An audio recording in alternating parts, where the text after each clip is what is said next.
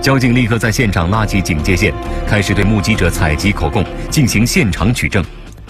这名正在向警方递交证件的人，他的额头和膀子上都有划伤。据记者了解，这名司机驾驶的是一辆出租车，在事故现场也受到了宝马车的猛烈撞击。师傅，到底怎么回事啊？是？我也不知道，我正常走这边左拐，我就突然听碰了一下，然后车子给我撞的掉头，我就不知道怎么情况。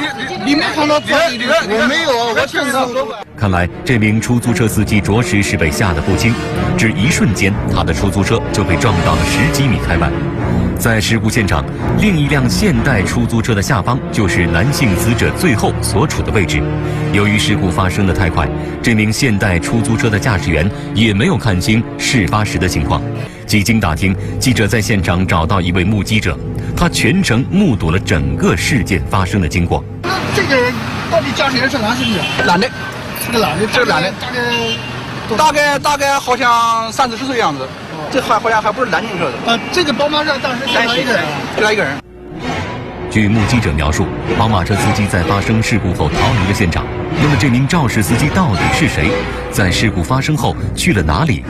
而就在当天下午三点钟，有市民报警称，有一名满脸血污的男子在友谊河边的泵房出现。在接到报警后，派出所民警迅速赶到友谊河路，找到这名男子。